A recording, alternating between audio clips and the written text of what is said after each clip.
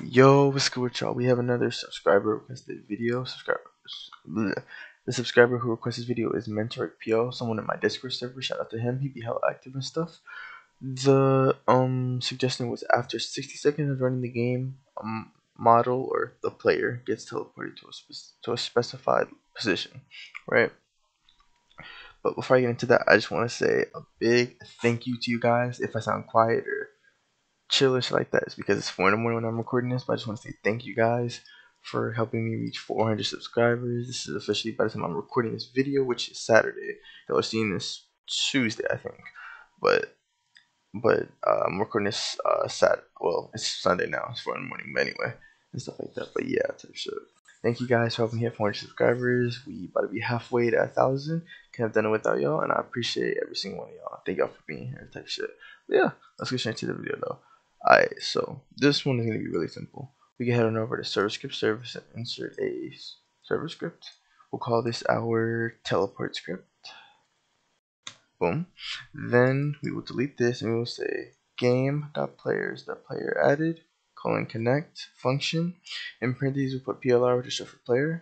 We will then do local character, gotta make a variable, do equals game.workspace, wait for child, player.name. Then we will press enter twice. And then we will do character colon move move oh sorry move to right then we will get the position um I'm just I'm gonna take the position of the spawn right now then move the spawn so y'all can see that obviously I'm not spawning on this then we're gonna do vector3 dot new parentheses then put the vector coordinates so pretty much for this, you got to use vector coordinates, vector coordinates. So yeah, right.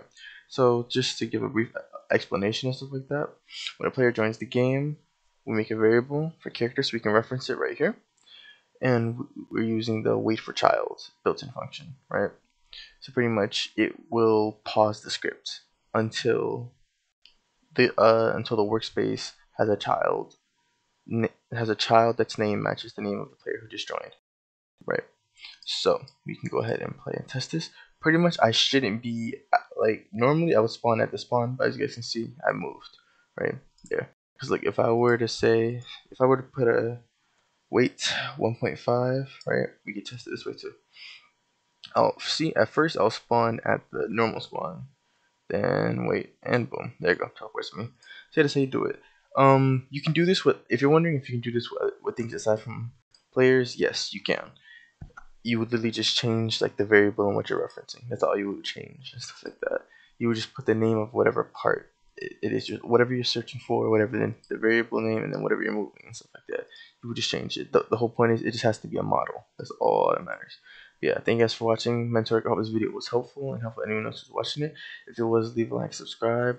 Um, no idea where our sub count is at now, but let's but let's let's get through this 400 get to 500. Appreciate y'all. Appreciate y'all for the love and support, and let's keep it going. Thank y'all for watching, and leave a like and subscribe if the video was helpful. And yeah, I'll see you guys.